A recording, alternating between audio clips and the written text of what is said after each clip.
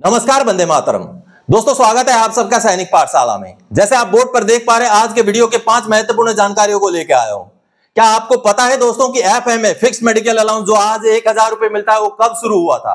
कब कब उसके क्या रेट थे? और अगर आज आप उसकी मांग करें एफ़ एम ए की तो तब से लेकर अब तक क्या एरियर मिल सकता है? आपको लेटर दिखा के समझाऊँगा दोस्तों। और मोदी 3.0 की सरकार गठन हो चुकी है। तो ऐसे में सरकार जिस तरीके से अंदेशा लगाया जा रहा है, उस संख्या बल के साथ तो गठन नहीं हुई, लेकिन फिर भी एनडीए की एक मज़बूत सरकार गठन हो गई है। तो सरकार का जो संख्या बल, जितना अंदेशा लगाया गया, उतना ना होने के पीछे कर्मचारियों और पेंशनर्स की मांगों को ना मानना भी एक बहुत बड़ी वजह है। तो क्या सरकार इस गलती को सुधारेगी? क्योंकि अंदर खाने से, सूत्रों के हवाले से जो जानकारियाँ मिल रही हैं पेंशन सुधार को लेकर के सरकार बहुत जल्द बड़ा फैसला ले सकती है। जी हाँ इसके बारे में बात करेंगे। और दोस्तों, क्या भारतीय सेना राजनीति का मोहरा है? क्या भारतीय सेना में अलग से अमीर सेना, अलग से गरीब सेना है? इसके बारे में एक बहुत बहुत ही सीरियस एक जानकारी सामने आई है। उसके बारे में भी आज के इस वीडियो में चर्चा करेंगे। तो चलिए आगे बढ़ते हैं दोस्तों।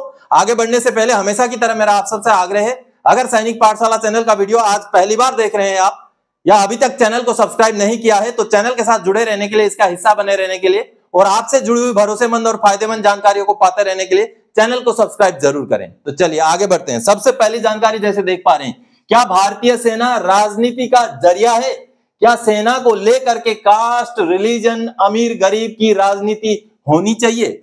दोस्तों, विदेश मंत्री एस जयशंकर साहब, जो अभी मोदी 3.0 में भी विदेश मंत्री बन चुके हैं, उनका एक वीडियो क्लिप सामने आया जो बहुत ही राष्ट्रीय सुरक्षा को लेकर के एक चिंताजनक बात है।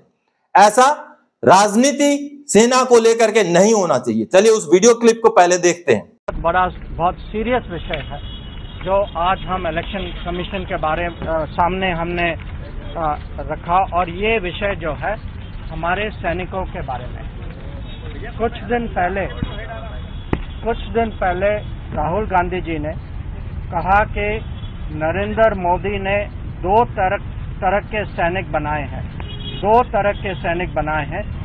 एक गरीब का बेटा, दलित, आदिवासी, पिछड़े वर्ग का बेटा, सामान्य जाति का, गरीब परिवारों का बेटा, अल्पसंख्यक का बेटा और दूसरा जो अमीर घर का बेटा होगा ये झूठ है। ये जो है, ये डायरेक्टली हमारे आर्म फोर्सेस पर अटैक है। ये विवाद का विषय बनाना चाहते हैं। बीच में उनका मोराल जो है, उसको कम करना चाहते हैं।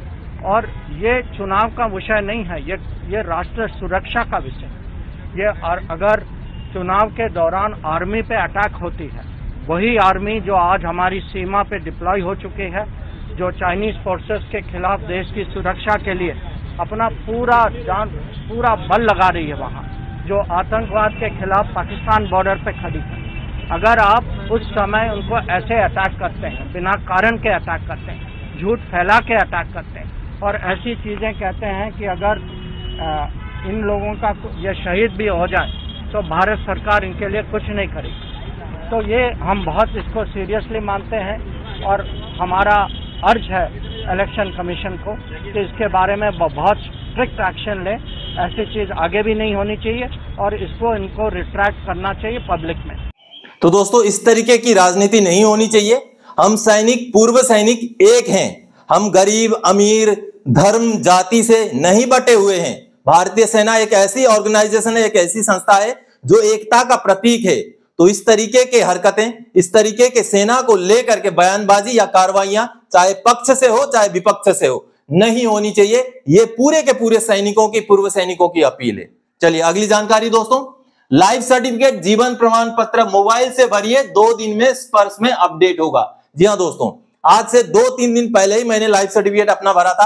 खुद के मेरे मोबाइल से जीवन प्रमाण ऐप का इस्तेमाल करके, जिसके ऊपर मैंने वीडियो भी बना के आप सबको दिखाया था। मैंने लाइफ सर्टिफिकेट दो तीन दिन पहले ही भरा था, लेकिन वीडियो कल का है। उस वीडियो को ज़रूर देखिएगा, ताकि आपको भी जीवन प्रमाण पत्र अगर सबमिट करना हो तो प्रॉब्लम ना हो, मुश्किल ना हो, आप घर बैठे बैठे अपने मोबाइल से ही कर सकें। उसमें मैंने सब कुछ प्रावधान बताया हुआ है। अब वो मेरे स्पर्श आईडी के अंदर अपडेट हो चुका है। ये जो सामने मेरा स्पर्श का लॉगिन पेज देख पा रहे हैं। लॉगिन होते ही पहला पेज जहाँ पर आपका अगला आइडेंटिफिकेशन का ड्यू डेट दिखाया जाता है, जिसमें आप देख पा रहे हैं मेरा अगला आइडेंटिफिकेशन का ड्यू डेट 30 जून 2025 के रूप में अपडेट हो चुका है। अब मेरा अगला लाइफ सर्टिफिकेट का ड्यू डेट ये है हालाँकि मैं बीच में अगर चाहूँ तो भर सकता हूँ, लेकिन जून 2025 तक के लिए मेरा वैलिडिटी बढ़ चुका है। अब अगर मैं अंदर जाता हूँ स्पर्श आईडी के अंदर, जहाँ पर लाइफ सर्टिफिकेट का स्टेटस दिखाया जाता है, या आप देख पा रहे हैं पेज इस पेज में भी मेरा जो मैंने 9 जून को जो लाइफ सर्टिफिकेट भरा था, वो अपडेट हो गया है और उसका स्टेटस कंप्लीट हो चुका है। आपका अगर आधार अपडेटेड है तो आप बिल्कुल भरोसे के साथ अपना लाइफ सर्टिफिकेट जीवन प्रमाण ऐप के ज़रिए भर सकते हैं दोस्तों, जो बहुत ही आसान है। चलिए, अगली जानकारी दोस्तों। क्या एफ़ एम में एक हज़ार हर महीने का एरियर मिल सकता है?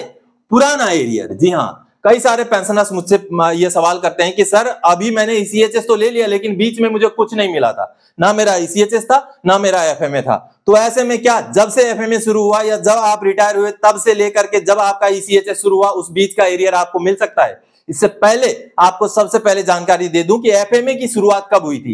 एक दिसंबर उन्नीस सौ सतानबे से एफएमए की शुरुआत हुई थी। शुरू शुरू में ये एक सौ रुपए हर महीना मिला करता था। उसके बाद 2008 में इसको तीन सौ रुपए किया गया, जिसको 2014 में 500 किया गया और 1 जुलाई 2017 से इसको एक हज़ार हर महीना किया गया, जो अभी भी चल रहा है। उसके बाद ईसीएचएस की शुरुआत 1 अप्रैल 2003 से हुई है दोस्तों।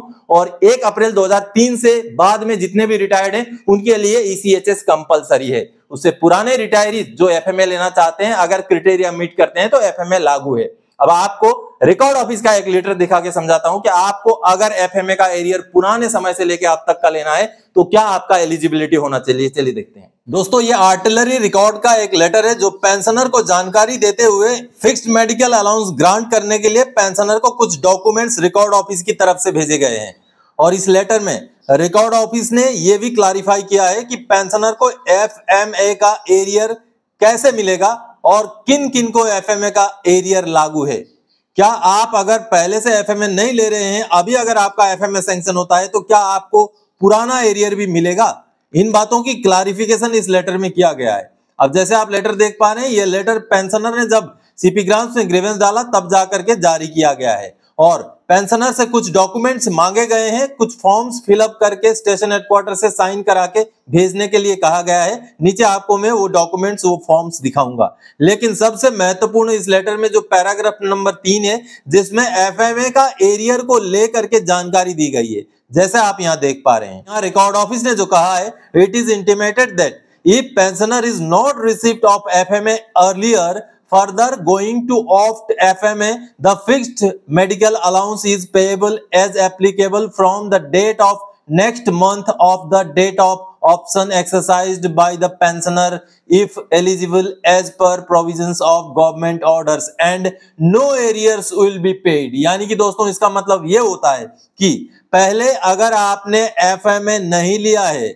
आपने आज तक कभी भी एफ़ एम ए को नहीं चुना है और अगर अभी आप एफएमए चाहते हैं तो आपको जिस दिन आप एफएमए का ऑप्शन को साइन करके भेज रहे हैं, उसके बाद का ही आपको एफएमए मिलेगा। यानी कि एफएमए लागू तो दिसंबर उन्नीस सौ सतानबे से है, लेकिन मान लीजिए कोई रिटायरी उन्नीस के रिटायरी है, जो आज अगर एफएमए मांगते हैं, आज अगर फॉर्म्स भर के भेजते हैं तो उनको भुगतान जिस दिन वो फॉर्म भर के भेज रहे हैं, तब से होगा। ना कि पुराने दिनों से भुगतान होगा। लेकिन इसमें कुछ पेंशनर्स को पुराना एफएमए का एरियर मिलेगा, वो किन को मिलेगा, मैं आगे बताऊँगा। चलिए, सबसे पहले मैं आपको दिखा देता हूँ जो फॉर्म्स भेजे गए रिकॉर्ड ऑफ़िस की तरफ़ से, जिन फॉर्म्स को भर के भेजा जाना। ये देखिए फिक्स मेडिकल अलाउंस के लिए ये एक फॉर्म है, जिसको आपने भरना है। आपका आर्मी नंबर रैंक नेम सारा चीज़ें यहाँ पर भरने के बाद एड्रेस वगैरह पूरा चीज़ें भरा जाएगा। उसके बाद स्टेशन हेडक्वार्टर से भी ये साइन किया जाएगा। उसके बाद और एक फॉर्म है एनेक्जर वन ये भी ऑप्शन फॉर्म है कि आप क्यों ईसीएचएस e लेना चाहते हैं या एफएमएल लेना चाहते हैं, उसके बारे में यहाँ पर ऑप्शन है जिसको सिलेक्ट करके आपने भरना है। उसके बाद दोस्तों, आगे आपको और एक फॉर्म भरना पड़ेगा। ये भी स्टेशन हेडक्वार्टर का काउंटर साइन होगा। आगे ये एनेक्जर टू है, यानी कि अंडरटेकिंग आपके नजदीकी एरिया में कोई भी मेडिकल फैसिलिटी नहीं है, ऐसा अंडरटेकिंग आप देंगे। तो आप सबने देखा दोस्तों, अगर आपका एफएमए पुराने समय में सैंक्शन हो रखा है, तभी आपको उसका एरियर मिलेगा।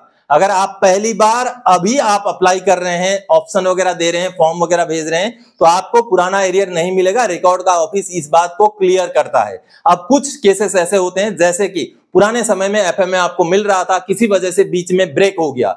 कोरिजेंडम पीपीओ निकला या कोई और वजह हो गया आप ईसीएचएस e शुरू कराना चाहते थे एफएमए को बंद करा दिया, लेकिन ईसीएचएस e भी शुरू नहीं हुआ।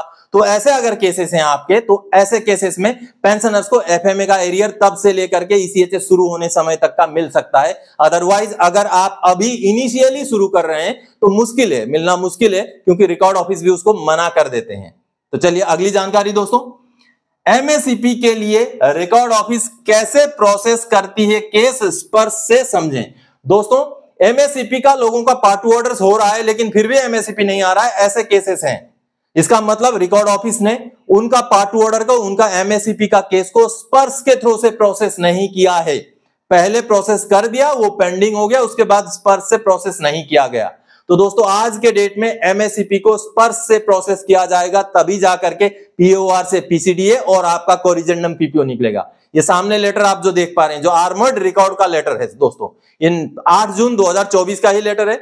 अब इस लेटर में ये पीओआर को भेजा गया है पेंशनर का केस को भेजते हुए। अब इस केस को 8 जून 2024 को, पहले ही उनका पार्ट ऑर्डर तो हो गया था एमएससीपी का, लेकिन 8 जून 2024 को उनका केस स्पर्श के थ्रू से पीओआर को भेजा गया। अब जब ये स्पर्श के थ्रू से पीओआर गया है तभी अब इसके ऊपर कार्रवाई होगा। पहले अगर भेजा भी गया होता, अगर नॉर्मली अगर ऑफलाइन भेजा गया होता तो उसके ऊपर कार्रवाई नहीं हो रही थी। लेकिन जब स्पर्श के थ्रू से एलपीसी कम डाटा सीट बंद करके स्पर्श में स्पर्श के थ्रू से चला जाएगा तो उनको एमएससीपी ज़रूर मिलेगा। थोड़ा सा समय लग सकता है।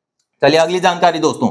बड़ी खबर, वित्त सचिव के अध्यक्षता वाले कमिटी की सुझाव मानते हुए मोदी 3.0 की सरकार पेंशन सुधार कर सकती है। 50 परसेंट पेंशन का प्रावधान। जी हाँ दोस्तों।